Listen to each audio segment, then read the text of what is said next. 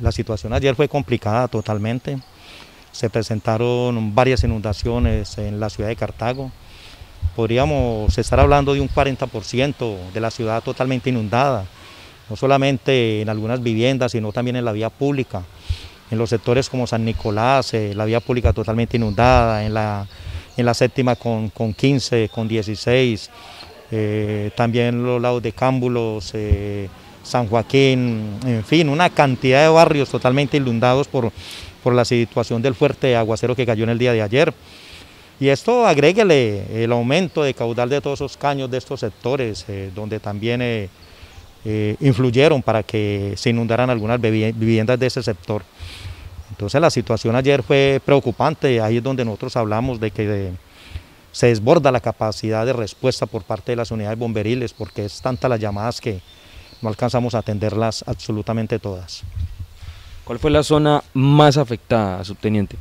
Bueno, nosotros atendimos eh, unas zonas muy afectadas que como fueron eh, San Joaquín, lo que fue el Matadero Viejo, también eh, hubo inundaciones en viviendas en ese sitio.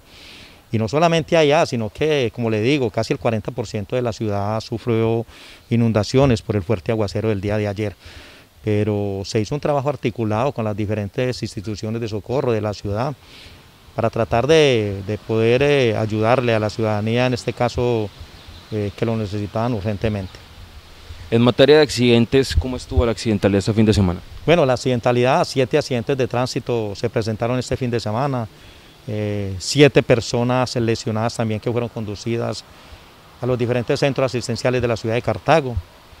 Eh, también rescate animales, eh, nosotros hicimos bastantes rescates de, de zarigüeyas, una serpiente boa constrictor también que la tenemos en la institución en este momento para entregarla. Y también escapes de gas, un incendio estructural en una bodega en la carrera sexta con 13, en fin. Esta semana estuvo bastante movida en cuanto a emergencias eh, se refiere, atendidas por el Cuerpo de Bomberos Voluntarios de la ciudad de Cartago. Y una recomendación a la ciudadanía es eh, de pronto no tirar eh, tantas basuras a la calle porque ayer se pudo evidenciar la cantidad de basura que habían en los sumideros o en las alcantarillas y por ende se presentaron esas inundaciones.